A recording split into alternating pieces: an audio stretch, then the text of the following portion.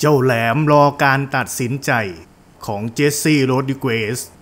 โดยรายงานข่าวนี้มาจากปากของประธานสภามวยโลก WBC นายเมาริซิโอสุไลมาน โดยเขาได้กล่าวว่า เจสซี่โรดริเกซแชมป์โลก รุ่นซูเปอร์ฟลายเวทของ WBC ชาวอเมริกัน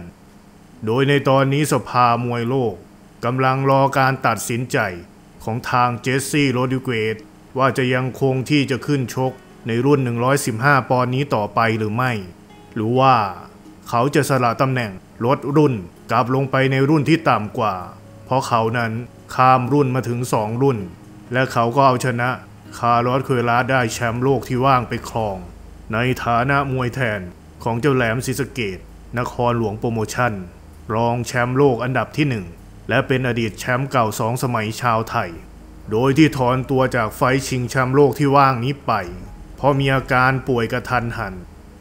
หากโรดิเกสตัดสินใจได้แล้วว่า เขาจะยังคงพร้อมที่จะถือครองแชมป์โลก 115 ปอนด์ต่อไปหรือไม่ หรือว่าเขาจะลดรุ่นลงไปตามเดิมก็ตาม โดยในภาพรวมของความเป็นไปได้ของรุ่น 115 ปอนด์ของทางสภามวยโลกเราก็จะชัดเจนมากขึ้นนั่นเอง มัวลิซิโอสุไลมานก็ได้กล่าวต่ออีกว่า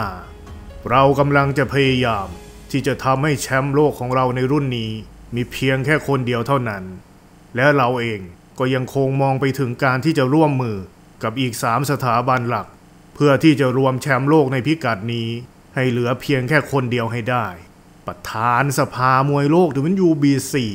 นายมัวลิซิโอสุไรมานกล่าวนั่นเอง